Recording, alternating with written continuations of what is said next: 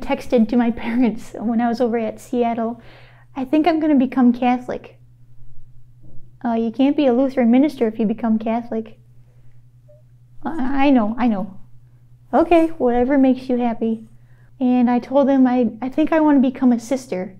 And they said, Oh, like Mother Teresa. Oh, we can see you doing that. Absolutely. Whatever makes you happy. Okay, okay, great, wonderful. I, I think I might join the cloister. Let, let's talk about this. We need to sit down and talk about this.